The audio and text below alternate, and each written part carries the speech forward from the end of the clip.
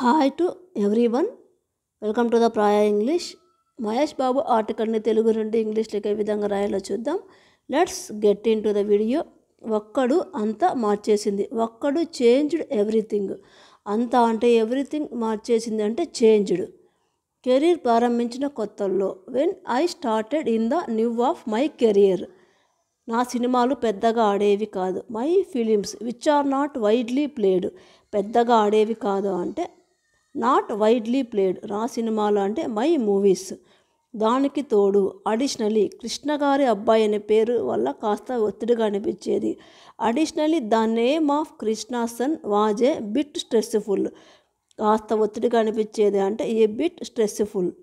కాస్త అంటే ఏ బిట్? ఒత్తిడిగా అనిపించేది అంటే స్ట్రెస్ఫుల్.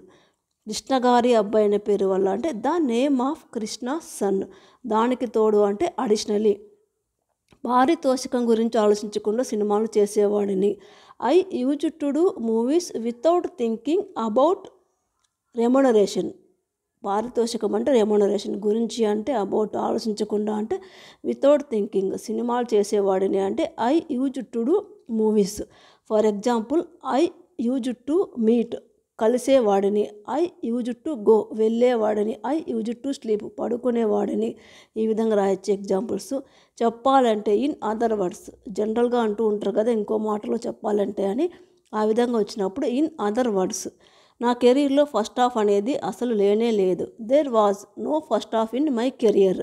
నా కెరియర్లో అంటే in my career. First half అనేది అసలు లేనే లేదు అంటే there was no first half. ఒక్కడు తర్వాత అన్నీ మారిపోయాయి. ఎవ్రీథింగ్ వా చేంజ్డ్ ఆఫ్టర్ ఒక్కడు. మారిపోయాయి అంటే చేంజ్డ్ అన్ని అంటే ఎవ్రీథింగ్ తర్వాత అంటే ఆఫ్టర్ ధైర్యం వచ్చింది. గాట్ కరేజ్ వచ్చింది అంటే గాట్ ధైర్యం అంటే courage for example got love love వచ్చింది. గాట్ ఇంట్రెస్ట్ ఆసక్తి వచ్చింది. ఈ విధంగా రాయొచ్చు. Examples got a good name మంచి పేరు వచ్చింది. ఆత్మవిశ్వాసం పెరిగింది. Self confidence which has increased. ఆత్మవిశ్వాసం అంటే సెల్ఫ్ కాన్ఫిడెన్స్ పెరిగింది అంటే ఇన్క్రీజ్డ్.